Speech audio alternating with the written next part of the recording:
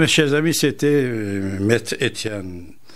Christian était avec nous après des années, j'étais ravi de le retrouver euh, sur notre antenne, mes chers amis. Maintenant, c'est votre tour de vous exprimer, poser vos questions et nous dire que pensez-vous de cette élection, de, cette victoire, victoire de Emmanuel Macron et euh, partager euh, votre vision avec nous, mes chers amis, en composant le 08 92 23 95 20. Alors, euh, vous savez, Macron a précisé comme quoi une proximité maintenue avec Washington. C'est-à-dire, euh, politique de la France va rester très liée et proche avec les États-Unis. Mais pour le politique international, il n'engage pas de la révolution, soi-disant. Ce qu'il va faire en France, cette révolution, ça concerne national, en France. Pas dans la diplomatie internationale de la France. Il a bien précisé, Emmanuel Macron, comme président de la France, que la sécurité d'Israël et, c'est très important, légitimité d'État palestinien est également dans le projet important de nouveau président français. De l'autre côté, vous savez, l'Iran, euh, géographiquement, politiquement, est très très chaud et important, puisqu'il est actuellement présent dans plusieurs pays, comme l'Irak, comme la Syrie, comme Liban, Yémen, etc., en partie de l'Afghanistan, en, en, Afrique, ce qu'on n'en parle pas. Ça, qu'est-ce qu'il a dit à ce sujet? Poursuivre le dialogue exigence dialogue exigence avec l'Iran. C'est-à-dire, à l'époque, on disait dialogue critique. À l'époque de Jacques Chirac, ce dialogue critique, maintenant, avec Macron, il devient exigeant. C'est-à-dire, toujours, on doit exiger que l'Iran respecte les accords de Genève de 2015. Et Macron, il a bien précisé que s'il respecte les accords, et ne, fait pas des interventions euh, militaires dans les pays qu'il est présent, comme Liban, euh, Syrie, Irak, la France peut continuer ses relations avec. Et bien sûr, euh, quand il parle, Macron, des pays islamistes ou islamiques, ou les pays qui gèrent actuellement, on peut dire, le monde musulman, euh, comme Turquie, l'Iran, Arabie saoudite, il dit, malgré certaines divergences d'idées avec ces pays-là, s'ils respectent certains engagements, s'ils restent engagés à certains engagements, nous aussi, nous serons engagés et on va respecter les engagements qui s'est fait. C'est-à-dire dans le domaine international, pour la première fois, un président de la République, il vient et dire comme quoi il ne va pas faire la révolution, il ne va pas aller libérer n'importe quel pays ou je ne sais pas quoi. Et de l'autre côté, est très important, il a dit qu'il va combattre le terrorisme, qu'il soit en France ou à l'extérieur de la France. Mais pour le combat contre le terrorisme, il n'y a pas de limite. Et comme il est précisé, euh, nouveau président Macron, Emmanuel Macron. Sur plusieurs d'autres points, je vais laisser à vous de parler, mes chers amis, et vous exprimer et donner euh, votre impression concernant cette élection. Vous pouvez composer bien sûr le 08 92 23 95 20.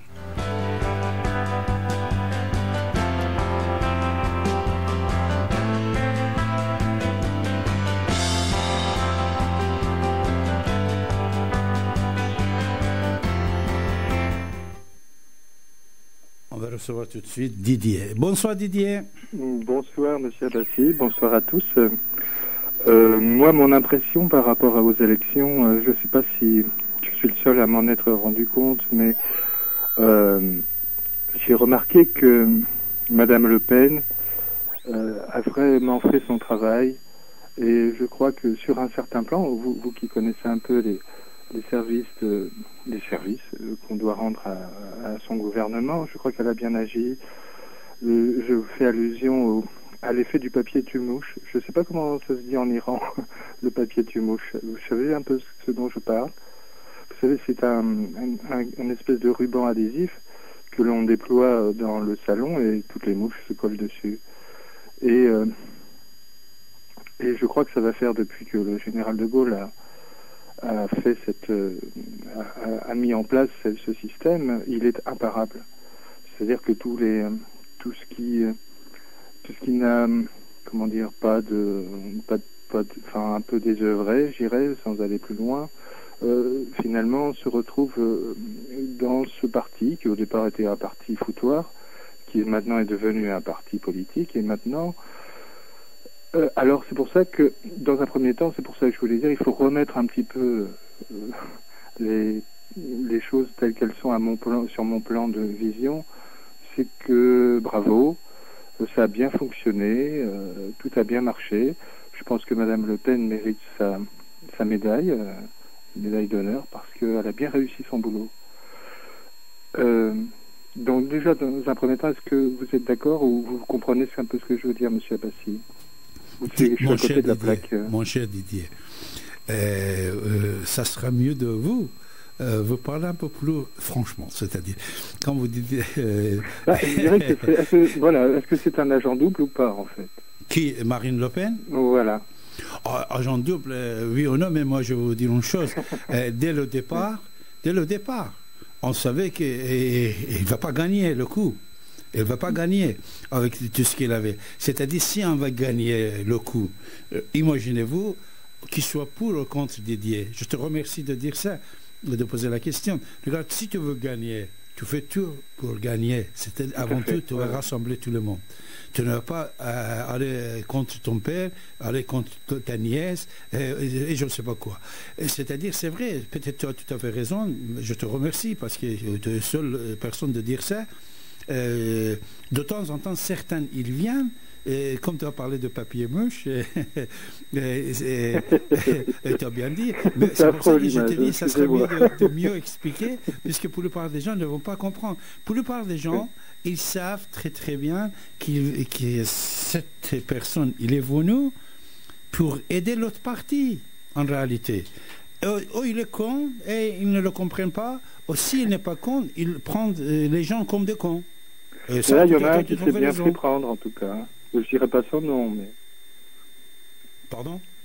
Il y en a un qui savait bien prendre M. Dupont-Aignan, s'est fait vraiment prendre grave. Quoi. Oh, oh, oui, bien sûr. Imaginez-vous, pendant des années, pendant des années, des années, des années, et actuellement, si je veux te dire, Didier, tu veux voir, aucune autre personnalité, soi-disant, si on nomme tous ces gens de personnalité, ne vont pas aller vers euh, le camp de Mme Le Pen. Tu comprends? Et, et il croit, il fait des appels, des, des clins d'œil, je ne sais pas quoi, ben, des personnages. C'est vrai, Nicolas, quand il, avait, il a fait ça, à ton avis, pourquoi Nicolas il a fait ça, euh, Didier? Pourquoi? bah, Je vous laisse. Non, dis-moi, dis-moi pourquoi, à, à, ton avis. Ben, pour moi, c'est pour gagner, ben, parce qu'il était, il avait la rage en fait. C'est parce qu'il il a pété un câble. Hein, en fait. Excusez-moi l'expression, mais il a, il a perdu euh, la raison. Il a, il a, il a, ou il, a, il est stupide, comme beaucoup, comme les 15, 16 millions d'autres personnes qui votent pour cette dame que je, justement, pour le coup, j'estime beaucoup. Elle fait un excellent travail. Bravo. Enfin voilà, c'était déjà pour dire ça. Didier, Didier ce n'est ouais. pas 16 millions pour l'Open, c'est 11 millions. Ah oui, excusez-moi. Alors c'est 5 millions. Alors tu sais, Didier, si Nicolas il avait le 5%, et s'il avait plusieurs millions d'euros qu'il aurait touché pour, pour 5 millions, jamais il n'aurait pas fait ça. Mais puisqu'il n'avait pas le 5, le 5% et il n'avait pas le 8 millions, alors, euh, tu sais, et en plus, il, avait l'envie de rester dans le champ politique, parce que pour la plupart des fois, regarde, nous avons beaucoup de politiciens, par exemple, pour, si on est pour le compte, mais l'acte et le geste que Fionn il a fait, c'était très honorable. Tout de suite, tout de suite, dès qu'il a vu qu'il était troisième dans la liste, qu'est-ce qu'il a fait? Il a donné le consigne de vote en faveur de Macron et il est parti. Mhm. Pierre Lionel Jospin, rappelez-vous de Lionel Jospin, dès qu'il a perdu, avec l'honneur, il est sorti du champ politique. Il y a certains qui, au moins, ils comprennent ça. Mais certains d'autres, malheureusement, ils vont imposer leur présence. Et, c'est question de l'argent et toujours euh, question d'être présent. Et ils ne savent pas qu'ils ne font pas arriver. Parce que même peut-être, tu penses qu'il va y avoir des problèmes dans le euh, législatif, Nicolas, n'est-ce pas, avec ce changement de, euh, camp Alors, pour, pour, à mon avis, les législatives, elles sont, vont être, elles sont compliquées parce que excusez-moi le terme, mais on, est dans un système de collaboration à partir du moment où, des présidentielles sont faites. Il y a un système de collaboration et il est épouvantable en France. Euh, ça, on n'a pas encore bien réglé. On n'est pas, euh, on n'a pas vraiment bien, euh, bien, bien situé. Les législatives, c'est pareil, c'est un espèce de, truc un, personne ne comprend rien. D'ailleurs, c'est pas nous qui votons ça. Enfin bref, c'est un peu compliqué. Si on le vote, mais enfin c'est un peu compliqué, trop compliqué à mon avis pour pour y pour y pour y. enfin, on voit bien que c'était encore un jeu de cartes après euh, incompréhensible à mon avis. Alors maintenant, ce que j'aurais voulu vous revenir à ce que vous disiez tout à l'heure, qui était intéressant sur le plan international que devrait faire M. Macron? Je ne sais pas, vous êtes très très bien placé pour ça. Pour moi, je vais trouver un terme qui est très français, qui s'appelle il faut être imbouffable. Euh, comme il l'a été dans sa campagne avec euh, Le Pen, imbouffable, c'est-à-dire que quelqu'un très gentil, très calme, mais qu'on puisse pas le mordre de, de, de, quel endroit que ce soit.